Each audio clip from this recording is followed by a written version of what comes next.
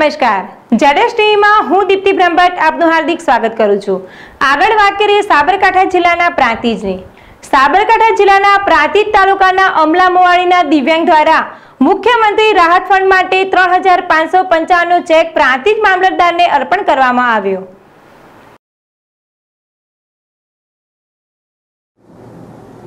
હાલ કોરોનાને લઈને દેશભરમાં મહામારી ફેલાઈ છે. ત્યારે સરકાર દ્વારા પણ વિવિધ રીતે સાવચેતી સહિત લોકોને રાહત ફંડમાં યથાશક્તિ ફંડ આપવા માટે દેશના નાગરિકોને અપીલ કરવામાં આવી છે. ત્યારે સાબરકાંઠા જિલ્લાના પ્રાંતિજ તાલુકાના અમલાની મુવાડી ખાતે રહેતા દિવ્યાંગ ચાલા જસવંતસિંહ બાદરસિંહ કે જેઓ પોતે બંને પગે વિકલાંગ છે અને તેઓને કોઈ મોટી પોસ્ટ કે નોકરી કે પોતાને આવકનું સાધન પણ નથી.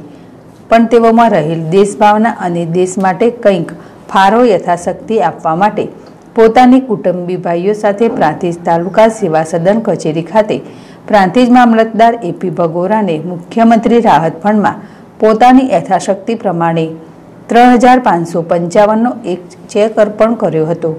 તો ધન્ય છે આ જસવંતસિંહ ઝાલાને કે પોતે બંને પગે વિકલાંગ હોવા છતાં અને પોતાને પૈસાની જરૂર હોવા છતાં મુખ્યમંત્રી રાહત ફંડમાં ચેક અર્પણ કરીને તેમનામાં રહેલ દેશભક્તિ અને દેશ માટેની ભાવના વ્યક્ત કરી છે. તેઓને લાખ લાખ સલામ. અગાઉ પણ પ્રાંતિજ મામલતદાર કચેરી ખાતે પ્રાંતિજ એગ્રો એસોસિએશન દ્વારા પણ મુખ્યમંત્રી રાહત ફંડમાં એકવીસ હજારનો ચેક મુખ્યમંત્રી રાહત ફંડમાં આપવામાં આવ્યો હતો. ત્યારે અન્ય એક રિટાયર્ડ મામલતદાર વસંતલાલ મીઠાલાલ દ્વારા પણ પાંચ હજારનો ચેક મુખ્યમંત્રી રાહત ફંડમાં આપવામાં આવ્યો છે.